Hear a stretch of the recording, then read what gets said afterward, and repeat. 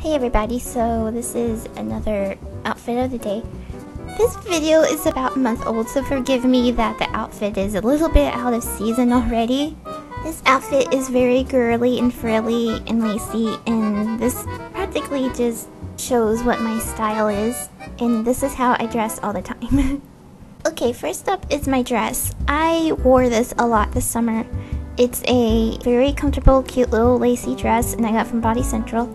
This bracelet's from Kohl's. It's very lacy, and believe it or not, the metal's fake, but it's really pretty and fun to wear. This necklace is from Charlotte Russe.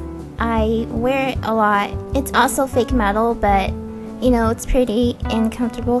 And um, you can see the pretty flower and everything. And I got this little flower from Charlotte Russe too.